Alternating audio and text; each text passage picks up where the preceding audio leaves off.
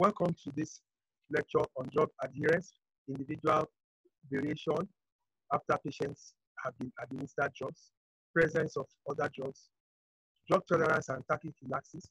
I'm Dr. Akinyede of the Department of Pharmacology, Therapeutics, Toxicology of the College of Medicine, University of Lagos.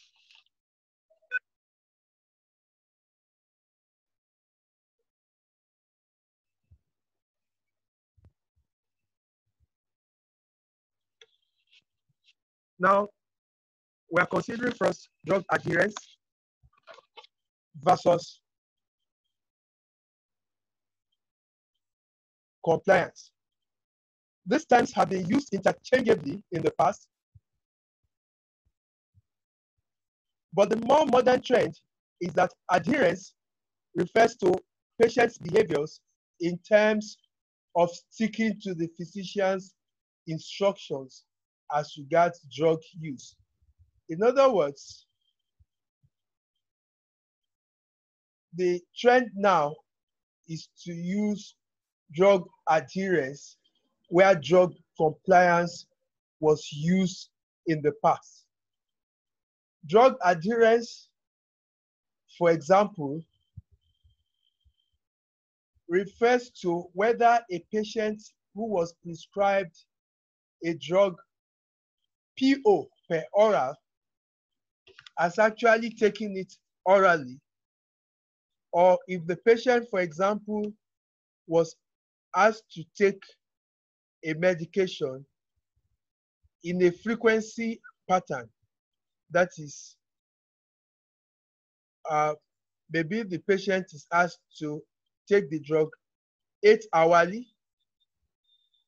Drug adherence refers to whether the patient has obeyed that instruction of taking the drug eight hourly or not. So drug adherence in that wise refers to whether the patient has obeyed the frequency of administration. So we use drug adherence for such situations now rather than talking about drug compliance. It was in the past that we spoke about drug compliance in this wise. However, many still talk about drug compliance when they intend drug adherence. There are some factors which prevent patients from adhering to instructions on drug administration. These include increased complexity and duration of therapies. For example, when the prescription becomes more complex, the tendency is for the patient to find it more difficult to adhere to instructions given by the prescriber. Multiple drug prescriptions also serve as a barrier. For example, a patient may have been prescribed multiple drugs for an illness, or the patient may present with multiple illnesses and therefore is on multiple drugs.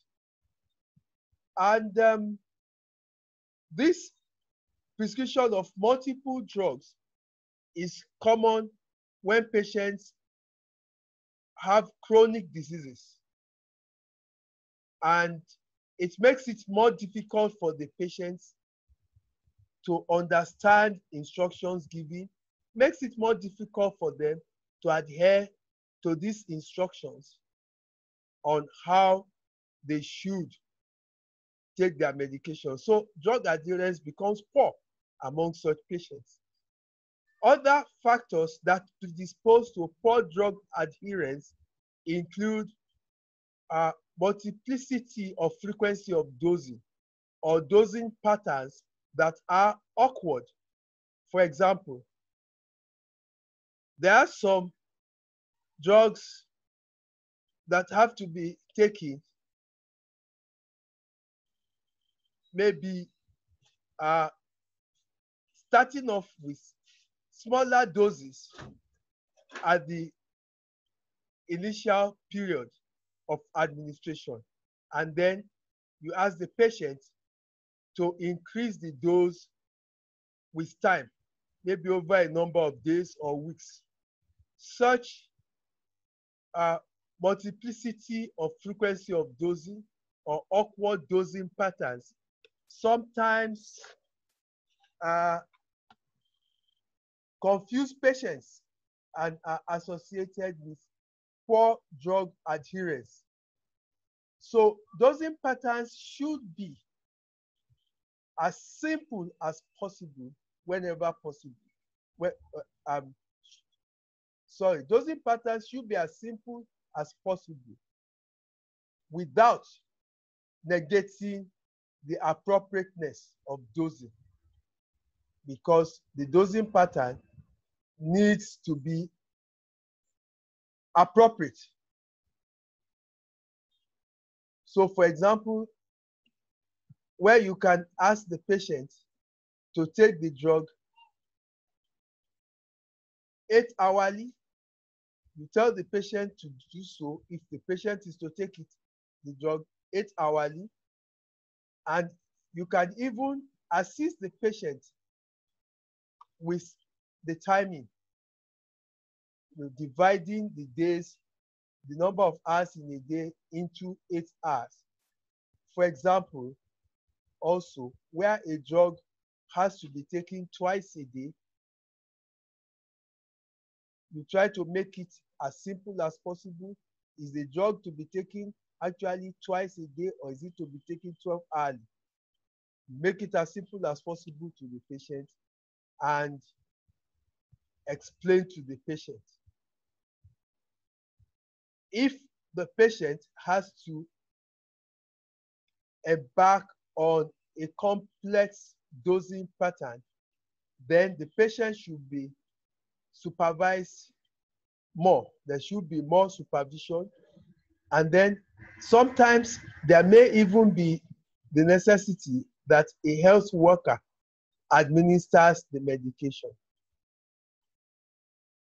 Close monitoring is required for drugs that are to be taken for long durations because the tendency is that after some time the patient may get tired and may skip some doses, may not adhere properly to the prescriber's instructions. Some drugs affect uh, the mental, the so some some some drugs may actually induce confusion and then some patients have altered uh, mental states. Now this can cause poor drug adherence so patients in such categories require assistance for drug administration it is known that side effects may influence drug adherence, but this may not be easily predictable. Why? Because some patients may tolerate some side effects, for example, better than others. So the ones that don't tolerate it more, the, the, the patients that, that don't tolerate side effects well may actually end up adhering to prescriptions poorly. But the ones that tolerate it well may have better adherence because the side effects will not deter them from taking the drug as prescribed. What is found is that sometimes the side effects may make the patient skip some doses. So if a patient tolerates the side effects better than others, that patient is not likely to skip some doses compared to the one that cannot tolerate the side effects at all. Now, some positive factors can also reinforce adherence to the drug prescribed. And so, such factors may actually play a role such that what is expected in terms of poor adherence because of side effects may now have uh, may now be underplayed. So the positive factors or the belief of the patient about the drug that is positive may now override the side effect, while the side effect may will usually cause poor adherence. But the positive factors, patients believe which is positive, when this overrides the side effects, then they will promote adherence. And so the adherence, ad, adherence pattern of such patients may actually not uh, be poor eventually. Cost can be a hindrance to drug adherence, especially when patients pay from pockets, like it occurs in developing nations like Nigeria or like nations where the insurance uh, pays for uh, pays the medical bills. Now, it's been found that some patients may skip some doses of their drugs in countries like Nigeria, which I said are developing, because they just cannot afford it. They are buying the drugs from their pockets. You know, they are paying cash for it. They are broke. At the time when they are broke, they just keep the doses. And the tendency is that such patients, you know, by the when they are getting close to the next clinic appointment, they now try to buy the drug by all means, start taking the drug a few days before they come to the clinic. Now, to minimize the cost of drugs, the impact of the cost of drugs on patients, some steps can be some steps can be taken. This include uh, the prescriber prescribing more of generics. Sometimes generics, uh, when the prescriber prescribes the generics, it means the patient is not compelled to, buy, to buy a particular brand. And so the patient has the option of buying cheaper brands. Uh, the prescription of alternative formulations, different formulations, the use of a drug under an investigating program offered by a company or charity, you know, may also reduce the cost of drug purchase because such drugs are usually cheaper than other drugs. Now we go on to uh, the other aspects we are looking at the sensitivity uh, of the receptors to drugs to agonists. A drug that, that binds to a receptor and stimulates that receptor is uh, defined as an agonist as opposed to a drug that binds to a receptor and does not stimulate it, which we usually term an antagonist. You've done receptor binding of drugs before. So uh, sometimes when patients start to receive uh, drug treatment for drugs that bind to receptors, that is at the beginning of drug therapy. What happens is that the drugs will bind to receptors, to its receptors more easily.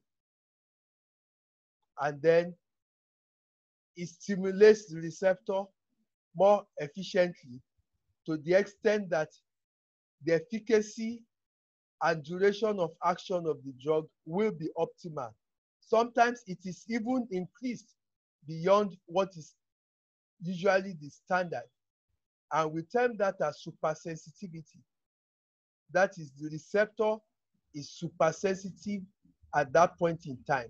Usually, like I said, this occurs at the beginning of drugs therapy for drugs that bind to receptors.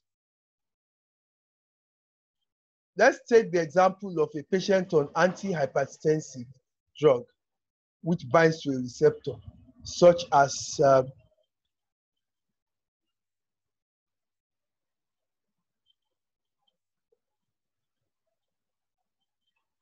the alpha methyl uh, dopa, which binds to and stimulates the presynaptic receptors, the central receptors.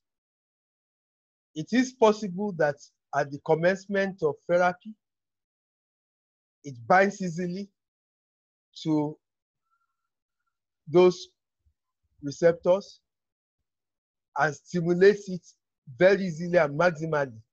And what will happen is that the efficacy will be so high in some patients and the effect of the antihypertensive drug alpha methyl dopa in that case will be so much that there will be unusual fall in blood pressure such a patient will have so much drop in blood pressure and it will occur so rapidly that there will be requirement of either reducing the dose or even cessation of the therapy for a short while. The therapy may need to be stopped. Now, it has also been discovered that in such a case, after some time, the receptors may become fatigued. The signaling pathway may become fatigued to the extent that the initial efficacy got is reduced. And with time, the um, response starts to diminish. The response starts to diminish with time. Um, we term that tachyphylaxis. We can also term it refractoriness. We can term it desensitization. These are alternative words which describe a state in which sensitivity to an agonist diminishes after repeated stimulation of its receptor. You know, it's a kind of fatigue, like I said, which occurs at the receptor. Sometimes that fatigue may occur along the signaling pathway.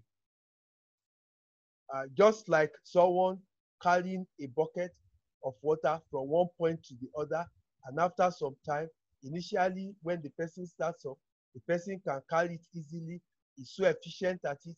With time, the muscles get fatigued and the person starts to drop back, becomes slow at it.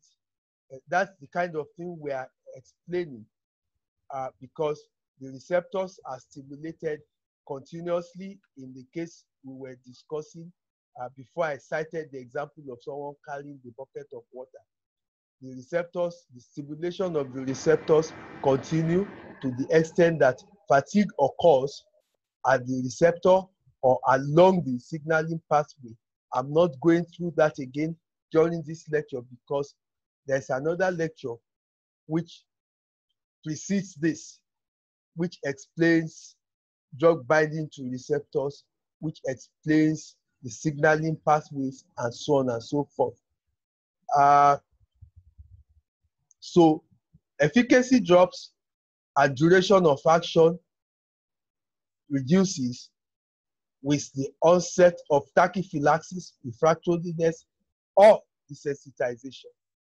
Hence, more of such a drug or agonist is needed to produce the same effect got before tachyphylaxis sets in. So there will be a requirement for more drug concentration at the receptor site. So the dose will have to go up, will have to be increased to still have the same uh, therapeutic outcome.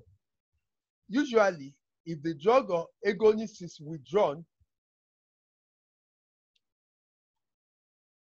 then tachyphylaxis is reversed so that when the drug is reintroduced at a later time, sensitivity is restored again. A patient who experiences desensitization will require an unusual increase in dose, like I said before. Now, we want to look at some factors that may actually alter uh, individuals' response to drug therapy and then tie everything we've done together. Genetic factors is one of the factors we are going to consider today. There are some patients that have varied drug metabolizing enzymes. Again, you've done pharmacokinetics, so you understand what I mean by drug metabolizing enzymes. So some patients, because of genetic variation, may have varied drug metabolism, uh, varied drug metabolizing enzymes. The type of metabolizing enzymes they have may be varied from what is found in the general population. Some patients have carrier protein types or receptor types which are varied from what is found in other patients in the general population. In any of these cases, pharmacokinetic or pharmacodynamic activities may vary.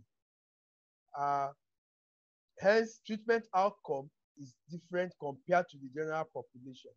When the drug metabolizing enzyme type a person has varies from what is found in the general population or the carrier protein types vary, then those are pharmacokinetic properties that are varied genetically. While if it is the receptor types that are varied, then we are talking about pharmacodynamic activities you know, that have been that are varied in such a patient.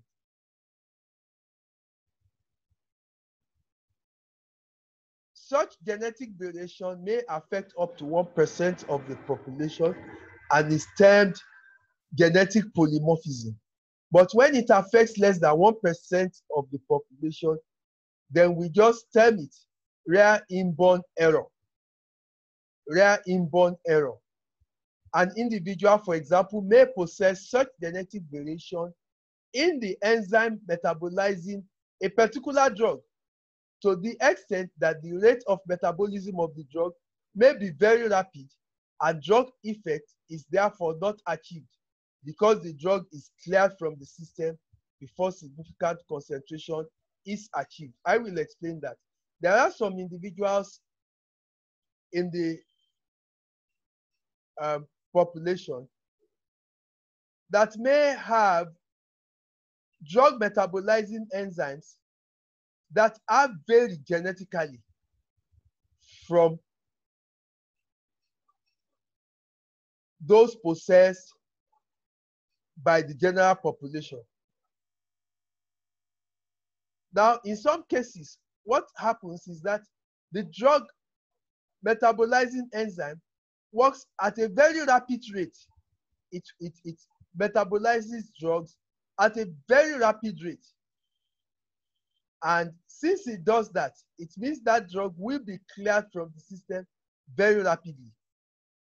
So that the drug concentration does not build up as expected.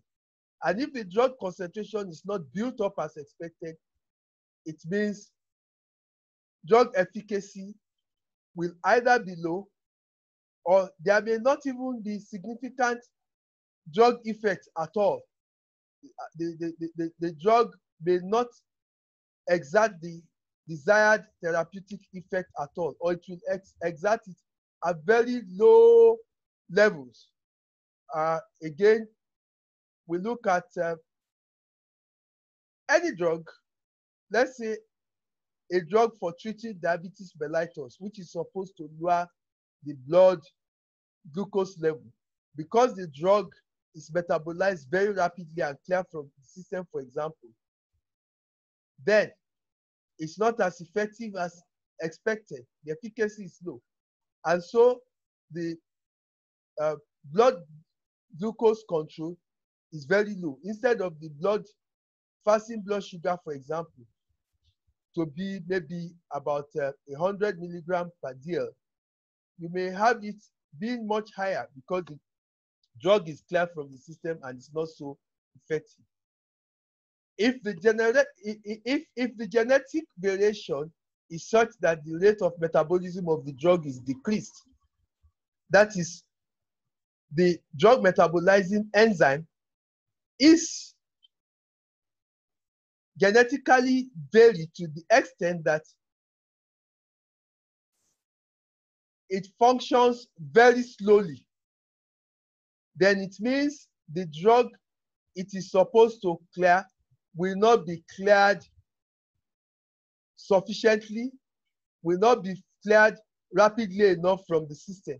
And so the drug will pile up. It will pile up in the system. It will pile up in the system. And when, when it piles up in the system,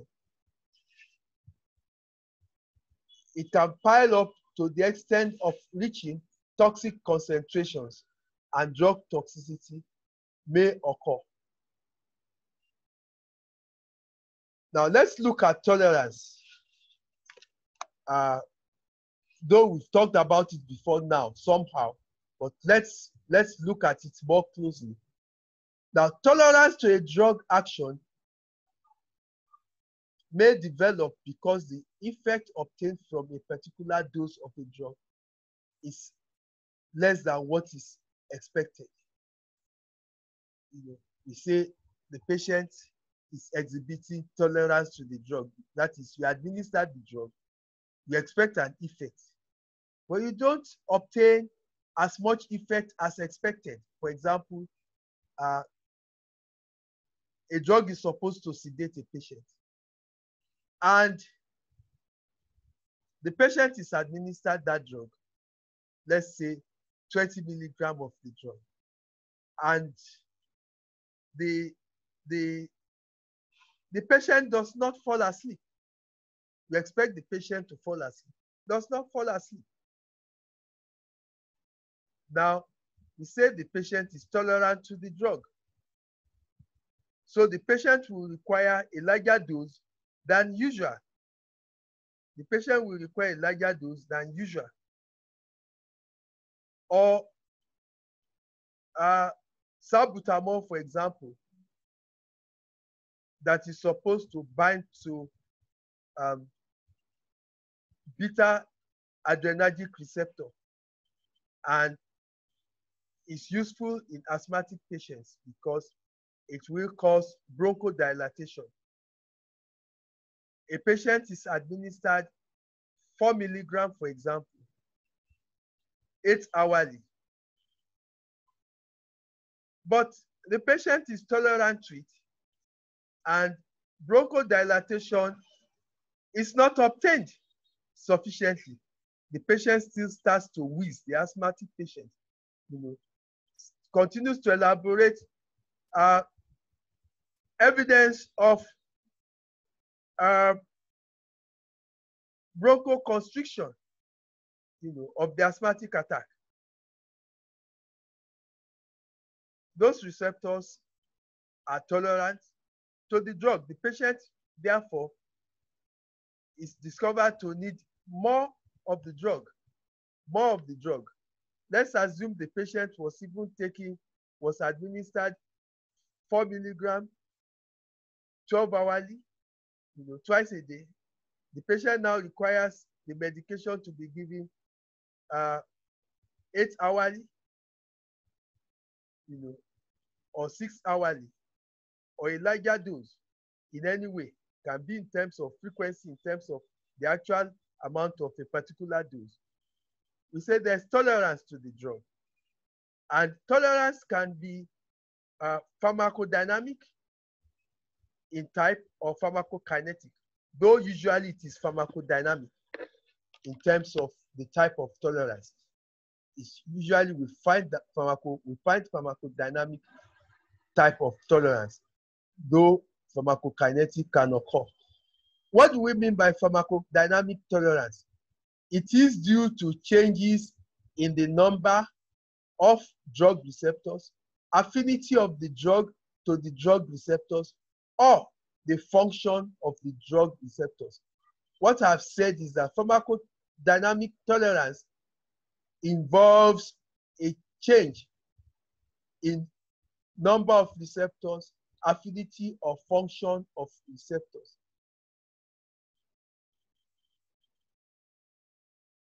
For example, if the affinity to the receptor is poor, then we have less effect.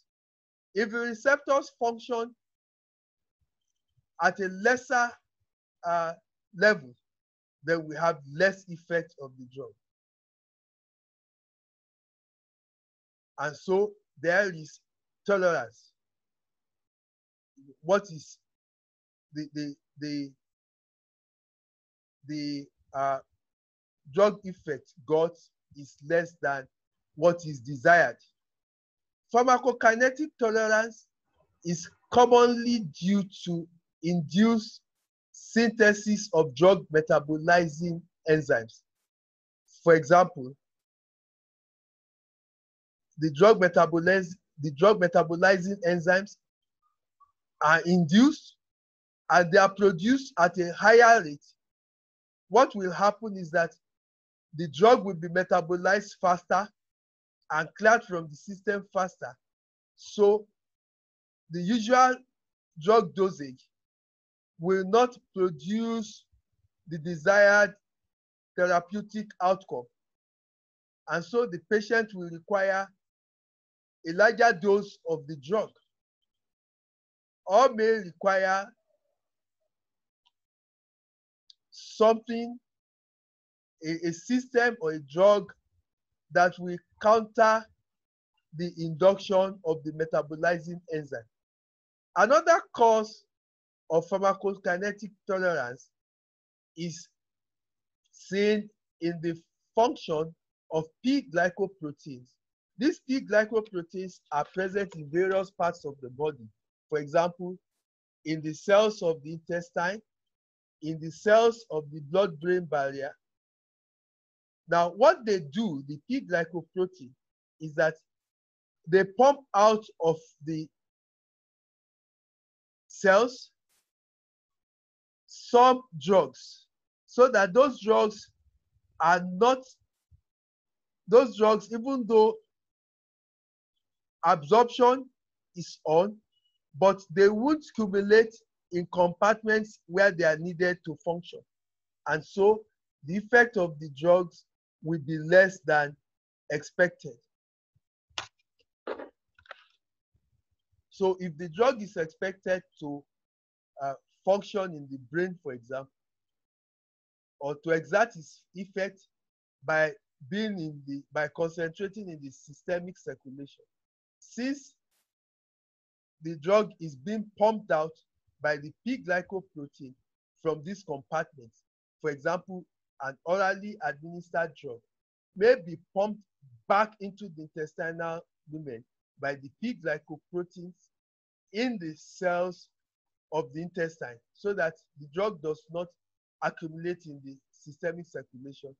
And so there's tolerance to the drug because the effect of the drug is less than uh, expected. So we wrap it up now. Uh, we've talked about drug tolerance. And what is happening in that case is that, or what happens in that case is that the effect got from the drug dosage is not as much as what is desired, as much as what is expected. And this can be due to pharmacodynamic aberrations or pharmacokinetic aberrations. Uh, if we relate this to desensitization, we will understand that desensitization at the receptor site, for example, will manifest as tolerance to a medication. And so that's the relationship between uh, drug tolerance, desensitization, otherwise called refractoriness by um, in some instances. We are talking about virtually the same thing. All these systems are interrelated. So in summary, we have looked at drug adherence and we've said drug adherence relates to a patient's behavior as regards obeying instructions given during drug prescription. When the patient is now administering the drug, we expect the patient to adhere to instructions and that this is a better term and a more modern term compared to compliance. We don't use compliance for uh, this phenomenon again. Um, we've looked at um, how receptors, we've looked at this receptor desensitization, we've looked at tolerance, and we've tried to uh, link them one to the other. Thank you for being a part of this lecture.